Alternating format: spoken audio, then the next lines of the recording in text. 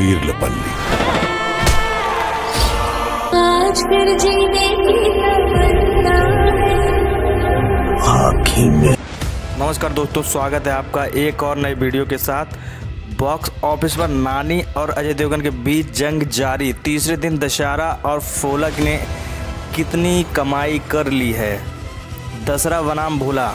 शनिवार तक film release के तीसरे दिन अजय देवगन की भोला और नानी की दसरा फ़िल्म ने अच्छी कमाई कर चुके थे। जिसके बाद देखना यह है कि वीकेंड ख़त्म होते होते एक दूसरे को टक्कर दे रही थी।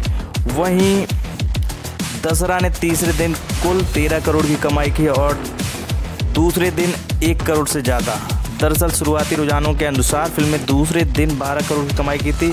हालाँकि यह भोला से कई ज़्यादा थी। शनिवार के कलेक्शन के बाद, दशहरा के कुल कलेक्शन की बात करें तो फ़िल्म ने 45 लाख सॉरी 45 करोड़ अट्ठानवे लाख का आंकड़ा पार कर लिया है।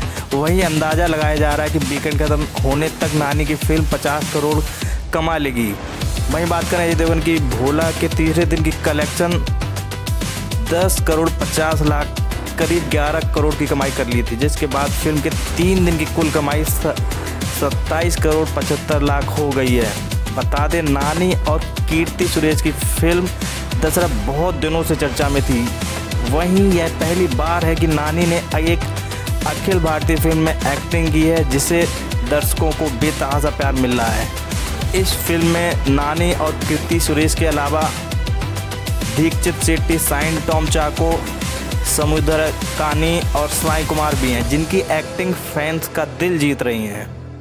दोस्तों, वीडियो अच्छा लगा हो तो प्लीज़ लाइक, शेयर और सब्सक्राइब।